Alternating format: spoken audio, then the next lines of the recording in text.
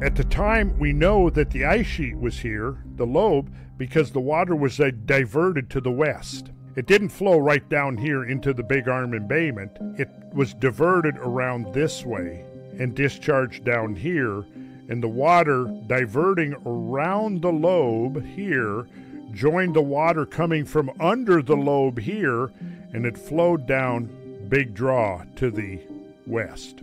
Notice there the delta type fan, how it fans out, and also notice that this channel through the sand here, that's like Grand Coulee. This is a major piece of evidence that contradicts, and there's several lines of evidence suggest that the Dayton ice lobe impounded a glacial lake in the upper Dayton Valley. This lake, termed Glacial Lake Ronan, was centered approximately over the site of contemporary Lake Mary Ronan, but it would have been much bigger impounding of water. Okay, so where did that water come from?